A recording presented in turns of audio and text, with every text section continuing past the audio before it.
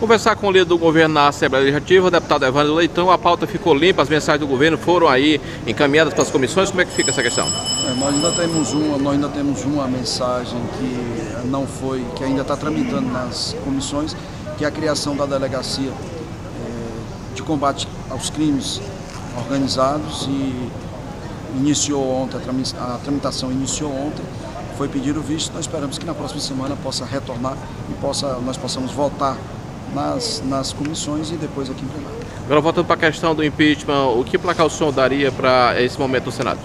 A placar é difícil. Agora, a meu ver, a questão é irreversível, porque depois que foi aprovado pelo, pelo, pela Câmara Federal, agora acho muito difícil se reverter no Senado, até porque o governo Temer já está aí com mais de 100 dias e as coisas já estão de alguma forma, pelo menos politicamente, sendo estabilizadas.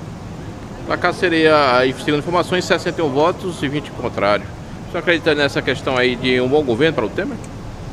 Nós esperamos, isso é o desejo da gente, nós somos brasileiros que estamos aí passando por dificuldades grandes, dificuldades econômicas, sobretudo.